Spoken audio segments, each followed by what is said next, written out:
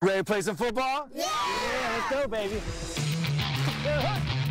I'm Coy Wire in Monticello, Illinois, where Camp Corral gives military kids the week of a lifetime. We're gonna have a little bit of football and a whole bunch of fun. Are you ready? Ready, play! How many of you have been through some tough times?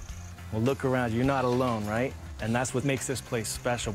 This camp has 178 kids from 13 different states, and a majority of them have a parent who's either wounded, injured, ill, or fallen.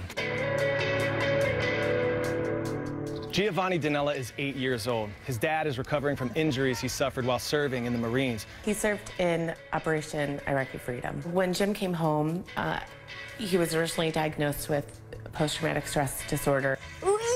Football it was great for Giovanni to be able to keep his mind off of what was going on at home. I asked a favor of my friends at the Atlanta Falcons, and they wanted me to give this to you. This is a real NFL football. Check that out. Matt Ryan, the NFL most valuable player. Signed that for you. Yay! it's pretty cool, huh? Mm -hmm. If I were to ask you to describe your dad in, in, in one word, how would you say he is? A hero.